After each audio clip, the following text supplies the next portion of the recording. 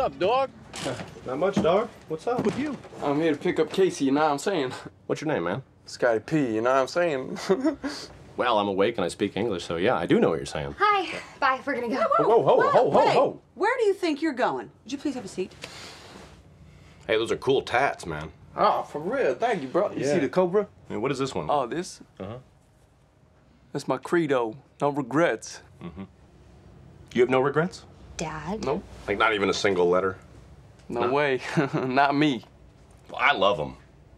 I think he's great. Okay. I think he's a real winner, Casey. If I were you, I wouldn't use protection.